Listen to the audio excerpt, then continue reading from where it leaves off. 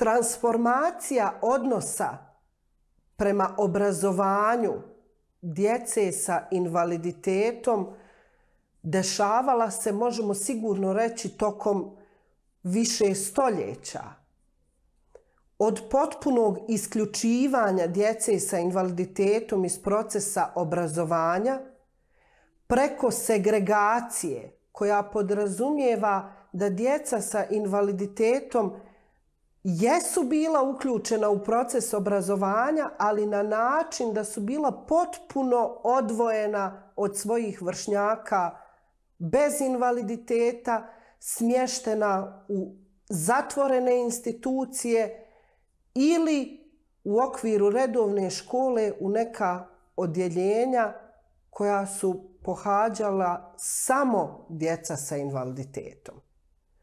Do integracije, kad djeca sa invaliditetom fizički prisustvuju u učionici, ali sve drugo što se tiče obrazovnog procesa e, dobijaju zahvaljujući upornosti, požrtvovanosti svojih porodica, roditelja, nevladinih organizacija koje im pružaju podršku, a ne od države.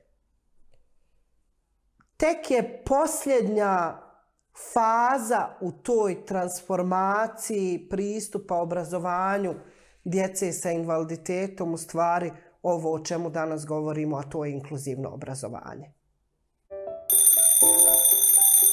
Poštujmo osnovno ljudsko pravo djece i mladih s invaliditetom na kvalitetno inkluzivno obrazovanje. Probudi se.